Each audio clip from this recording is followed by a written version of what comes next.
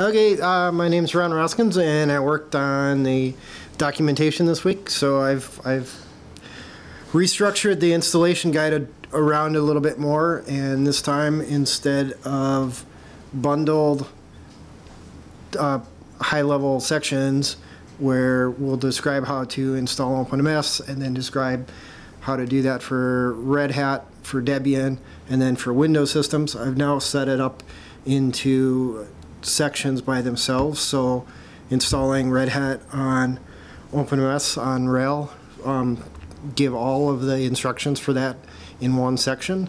Um, you don't need to flip around into any of the other points inside of it. Um, and also for did that for Debian and for Windows. Um, put in uh, advanced options in there to describe how those components of OpenNMS are, you know, things that can be additionally configured outside of the box for more advanced uh, installations. Um, kind of the, the the overall idea here was let's put together just a a very minimal set of instructions for people to do an install to get up and going for doing you know initial test you know or, or running on their home network or you know proof of concept kind of uh, installation and then you know as as you read through the docs you can find other additional advanced features that you might want to take a look at and and and use in there. Um,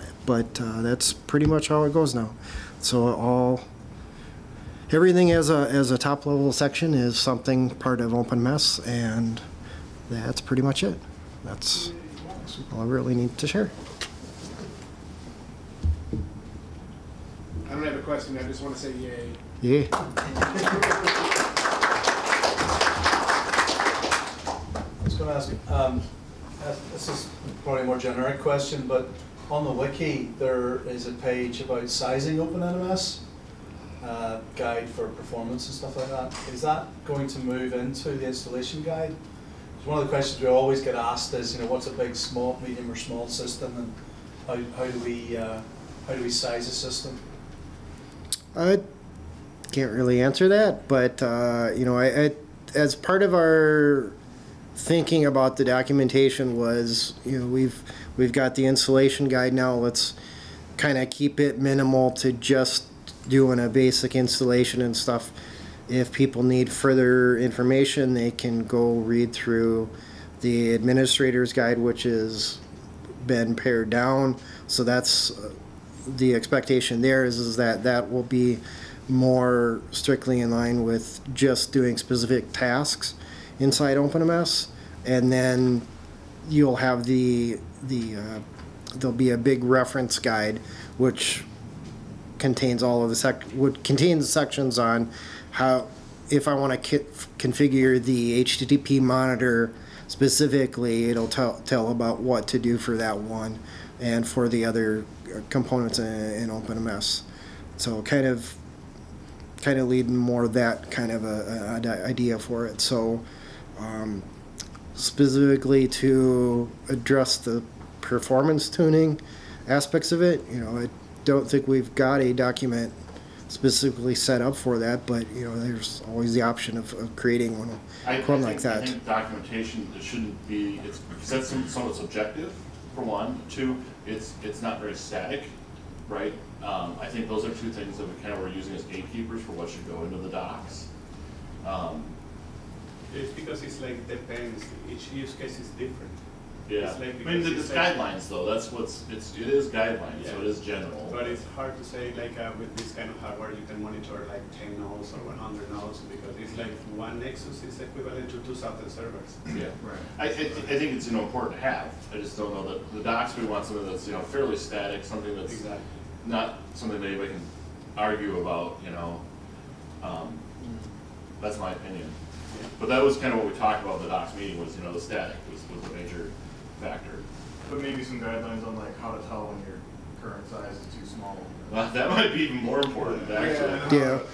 But I I think- think in each case, you know, like say your, uh, your IOPS are out of control or your CPU's out of control, whatever, that's what you do. Actually, that qualifies for like what uh, Jessica was spending, so like kind of blocks. So you can have like specific use cases for like big installation meetings.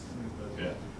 With example, because not saying like I monitor this amount of interfaces, this amount of nodes. Maybe maybe some real lightweight guidelines, you know, just, Yeah, I mean, I think, you know, majority of users of OpenNMS don't have a huge network. right, So it's like, you know, what, you know, to, to have a realistic system against an enterprise of, you know, two, three hundred nodes, what, what do we think? yeah. If a realistic system against, you know, a, a system, you know, three, a thousand nodes, what do we think? Oh. And then anything beyond that, yeah, okay, you've got lots of, Well, the, the other thing, we're looking at the installation guide as a prereq to a getting started guide. Right. yeah. Right, and so, and so the thought is, is that really part of the, the- the getting started guide is, right, you know, about getting somebody a flavor of what OpenNMS is, not giving them the whole picture necessarily, but, you know, tackle like use case number one, which might be, hey, I've got a bunch of crap around my house that I wanna monitor.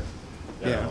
know? Um, you know, it's like, you know, Tarus starts off training with events, and I, and I go, well, I mean, people will just, they don't need to understand an event to get, to get what the value is in OpenNMS, right?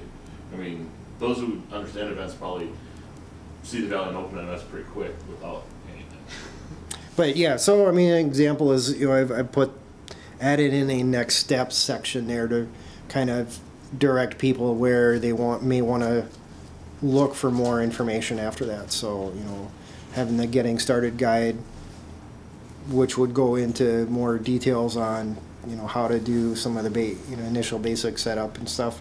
And And then, Crocker, you know, do X, Y, and Z, woo, you got what alerts, you know, that kind of thing.